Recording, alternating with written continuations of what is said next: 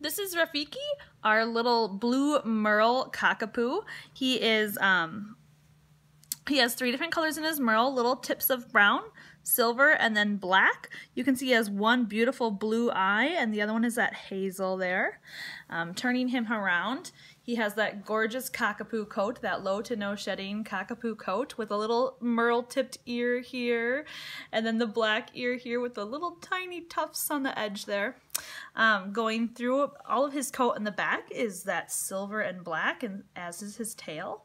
But then turning him around again, you can see he has just this beautiful brown merle in on his paws. Each, all four paws, he has that, and just this beautiful little curly merle markings and he's got a gorgeous coat.